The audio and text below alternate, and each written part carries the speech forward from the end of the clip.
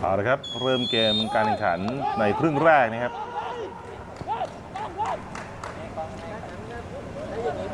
กำแพงเพชรจะบุกจากขวาไปซ้ายนะครับ ในชุดสีเหลืองแดง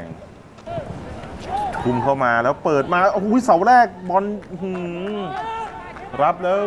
เกือบไปนะครับโอ้โหตะครุบไว้ตรงเส้นเลยครับพานุพัฒน์วัชรพัฒนกุลทุ่มเข้ามาแล้วดูครับ เปิดมาพุ่งมาเสาแรก โอ้โหรับแบบนี้นี่ หวาดเสียวแล้วครับ ตัวออกนอกเส้นมาไกลนะครับวิสิตงามๆครับทุ่มมา เบิร์นมาจังหวะนี้ได้มงแล้ว โอ้โห บอลหลุดกรอบออกไปนิดเดียวครับนฤพลสาแก้วกดลงพื้นเลยครับมงลูกนี้ เปิดมาจังหวะนี้ เอ้าลบได้แปรโอ้โหบอลฉลับหลุดออกหลังครับได้เตะมุมอีกครั้งครับ เกือบไปครับจังหวะของอภิสิทธิ์ขอไปครับเป็นหมายเลขขอเปลี่ยนตัวผู้เป็เล่นนหมายเลขสี่นะครับนันทชัยหมายเลข16นัทนันขอนทองออก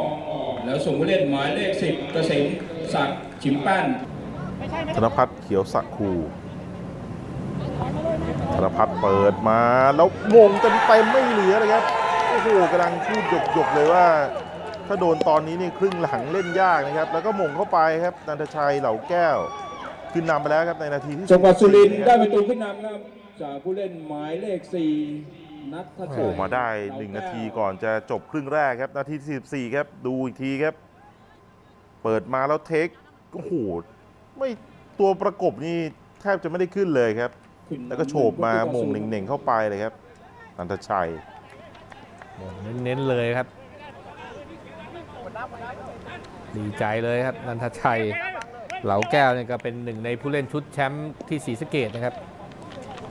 ทดมาครบแล้วนะครับ แล้วก็ผู้ตัดสินครับหมดเวลาการแข่งขันในครึ่งเวลาและต่ายทองจังก็หวัดเป่าสุรินทร์จบเกมในครึ่งแรกนะครับจังหวัดกำแพงพชรเป็นสุรินทร์นะครับที่ออกนำในช่วงท้ายเกมจากคนนี้นะครับหมายเลขสี่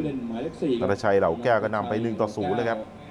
สนามกรีบบัวนี่ปรับปรุงใหม่สวยเลยนะครับ อัธจันทร์ที่นั่งเอาละครับเปิดเกมขึ้นมานะครับกำแพงเพชรเก็บได้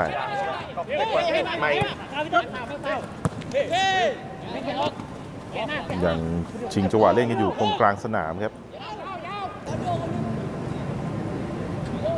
ทุมมาคราวนี้พลิกมาเล่นได้แล้วจะไปยังเข้าทางของภูริ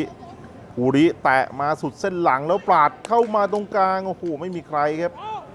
โอ้โหมันย้อนไปหมดเลยครับ แล้วจังหวะนี้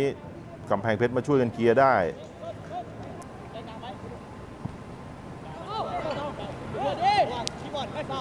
สุรินขึ้นมาบ้างครับ ไหลตามช่องมาสวยเลยครับภูริยิงเสาแรก โอ้โหแม่หลุดกรอบออกไปครับ โอ้เสาสองนี่มีเพื่อนเติมมาด้วยนะครับ แต่เจ้าตัวเนี่ยมันเข้าระยะทำการเลยครับนานๆจะเห็นทีนะครับศูนย์หน้าของกำแพงเพชรหมายเลข 13 เจนนรงเปิดมาจังหวะนี้มงมาเข้าทางแล้ว โอ้โห ไม่เต็มเลยครับ จังหวะแปรบอลำชิ่งมาน้ำหนักขาดแต่ว่าบอลยังมาเข้าทาง แต่ก็เสียบอลไปอีกแล้วนะครับกำแพงเพชรโอ้โหพลิกลูกนี้เรียกฟาวล์ได้อีกแล้วชลกรทองเพ็งครับไปฟาวล์จังหวะนี้